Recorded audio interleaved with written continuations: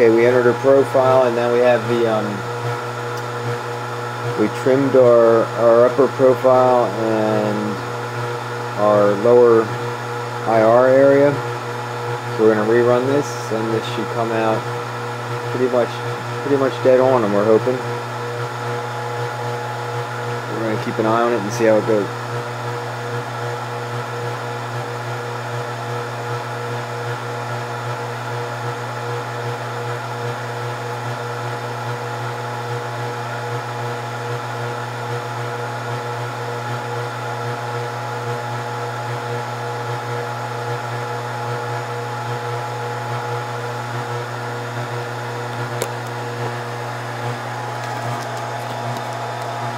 So we adjusted our preheat here on our lower IR to 185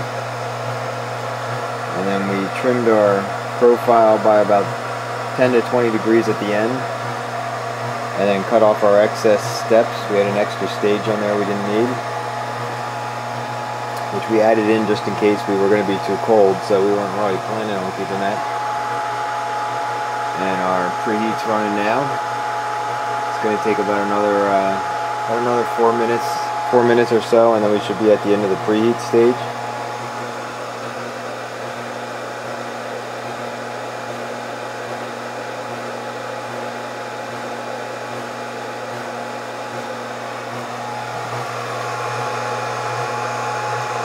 Let's check out our lower IR area heater sensors, make sure we got a good board reading.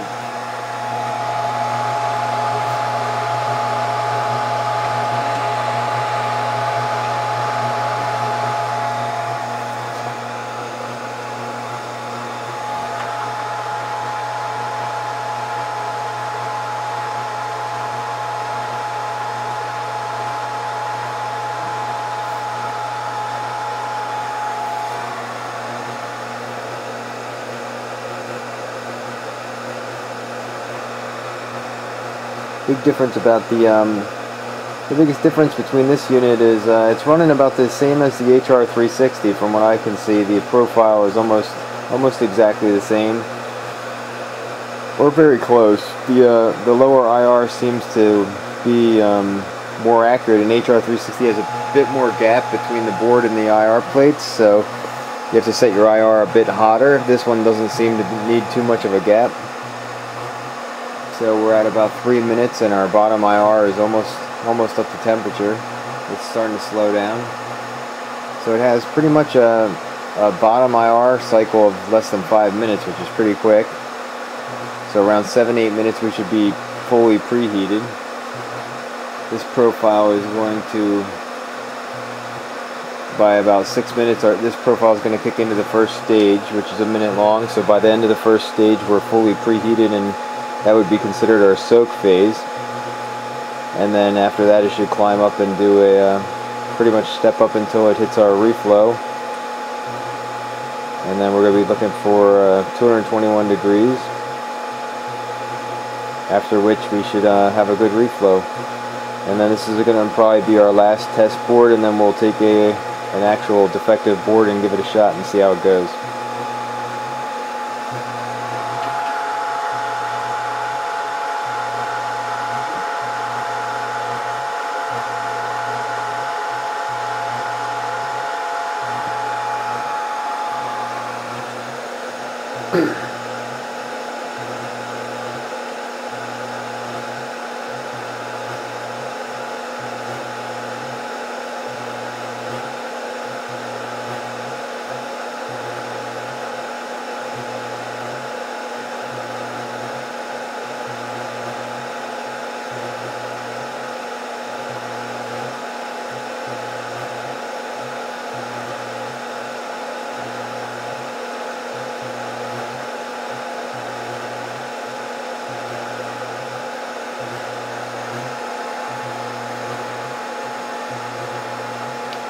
So we're preheated now. We should be getting close to our full preheat phase. Our lower heater is pretty much starting to slow down until it catches up to a 185 there.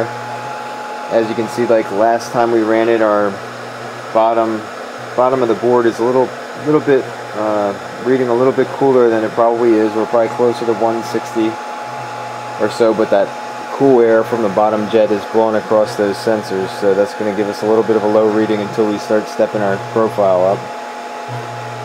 But that's going to let our board preheat fully.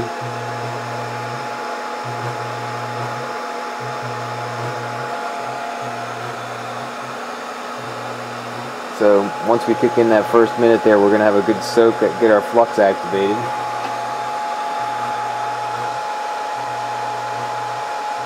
Right about now, we should start kicking up.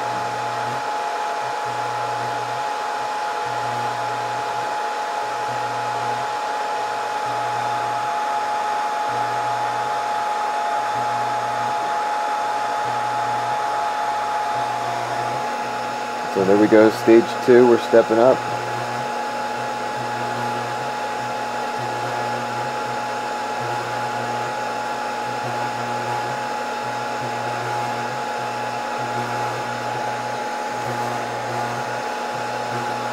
So we're going to start pulling our, our component up to the soak phase. Our board is now preheated, fully preheated. Our IR heater is pretty much balanced off, so that's not going to get any hotter. Our board is going to start catching up to the preheater. And by our next phase, we should start pulling our board up close to the close to the soak phase. It might be another step or two. And then our last phase should get us into the reflow stage.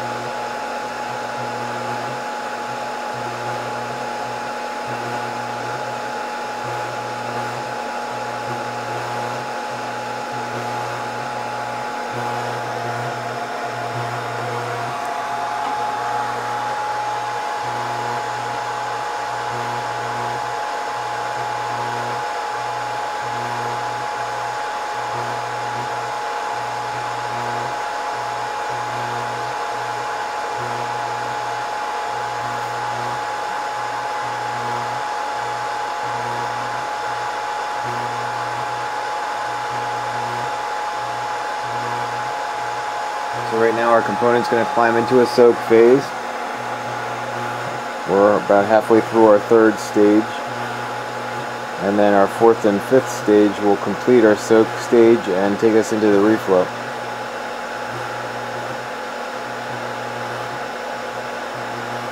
So right now we are in our soak stage. Our red line is graphing our component temperature. We're going to pull it into the 160, 170 degrees right through here. Gonna need about a minute in there. And then once that's finished, that should start pulling us up another step. We got a nice, nice smooth soak right now. Temperatures are about 180 across the board. So our component's gonna slowly climb up to 160, 170.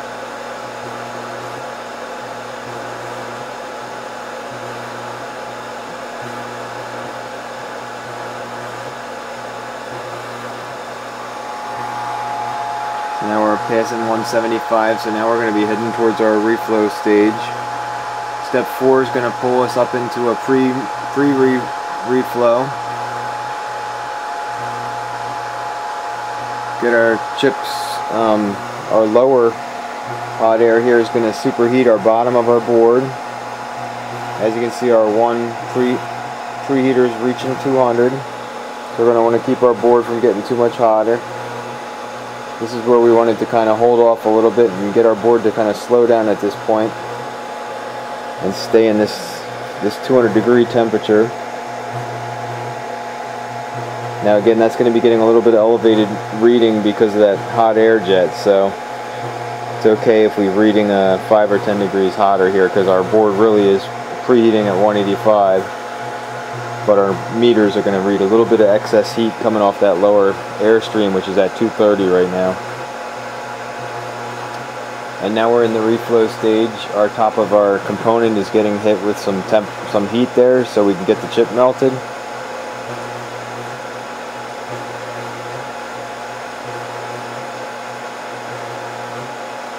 And now we're heading on into reflow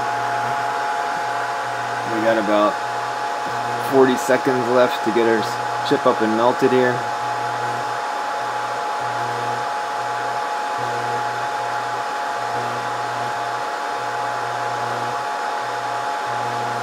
board temperature is reading just below 200.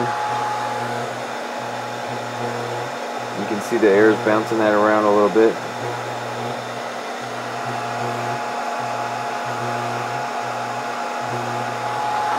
Alright, and we're just about there now.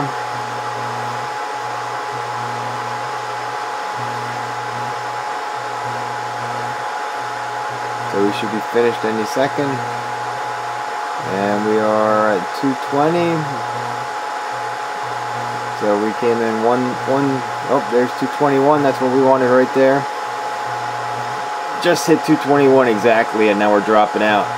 So that's exactly what we were looking for we hit it exactly to one to the degree. So we were dead on. So that's a good working profile.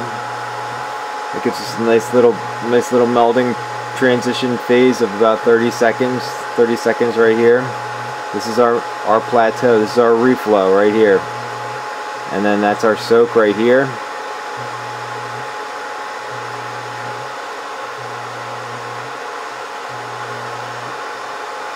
actually our soak would be right here. This is our soak this is our pre-reflow and then this is our reflow and there's our preheat. So that came out just right.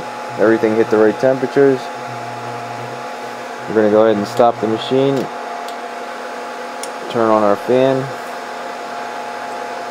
and then we're going to take a, a known bad PS3 board and give it a shot.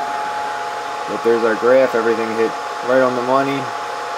That red line is what we wanted to see, and the green shows you the heat that's being applied to get us there. So we would consider that a successful uh, successful profile. It took us about three passes to get it.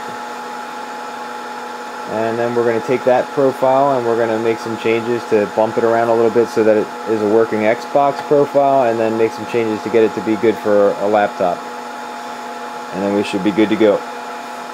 Anyway, that's profiling the IR360. Um, we're going to make a, a more detailed series on reballing with the IR360. So keep tuned for that. And then uh, we'll see you when we're doing that. Have a good night.